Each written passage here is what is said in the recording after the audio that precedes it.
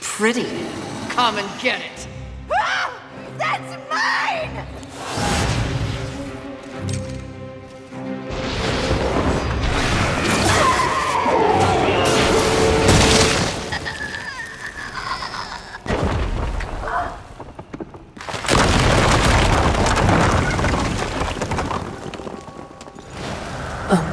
Mistress, not to be a bother, but weren't you supposed to catch envy? I did. Watch.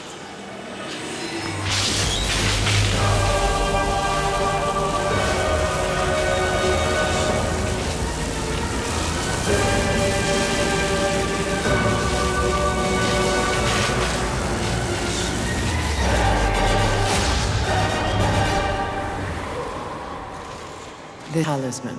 It's up. Envy used it to hold energies from the rest of the Seven.